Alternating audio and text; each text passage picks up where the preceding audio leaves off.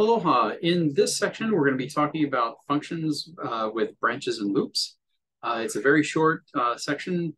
Essentially, the entirety of this is to let you know that uh, inside a function, you can use branches, loops, and other types of statements uh, within the function blocks. So uh, pretty much whatever you do outside of a function, you can do within a function. So I'll go ahead and share my screen with you to show you a couple of the examples that they had in the book.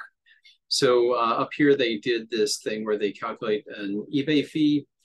Uh, so you've got the uh, the definition up here. It's taking sell price as the uh, the uh, price they were going to be selling at, and then they do their calculations here. Notice that we have branching going on. We have if, elif, and else. So it's uh, doing its calculations, everything with that and then it has returned the fee. So then uh, in the main part of the program, it's going to uh, input from the user what the uh, selling price of an item is uh, in a float form. And then it's going to say eBay fee equals, and it calculates that fee. This is, uh, uh, notice that it's using it as part of an expression here.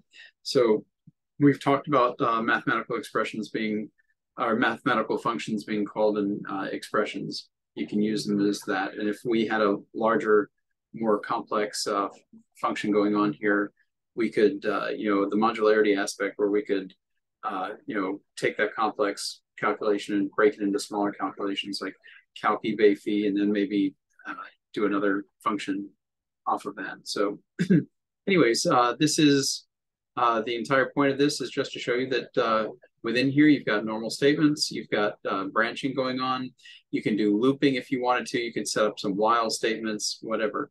Inside this function, inside a function, you can do pretty much anything you could do outside of the function.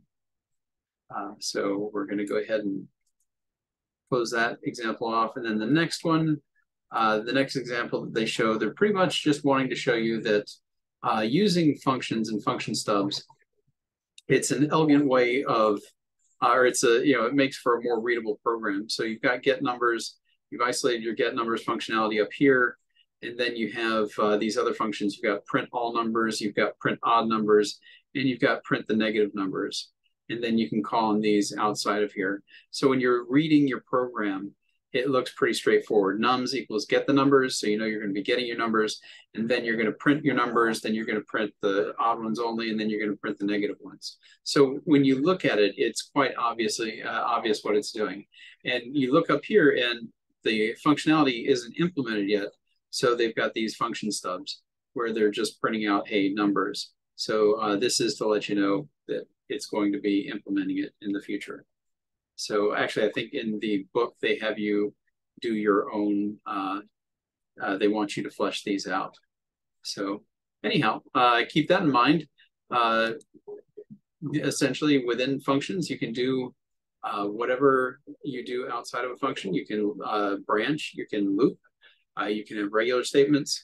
And also keep in mind that by making functions and naming them very appropriately, descriptively, when you go through your main code and you read through it, it just makes sense. It's very readable and understandable.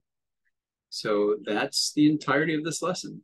So uh, quick, easy one. Uh, we'll see you in the next lesson.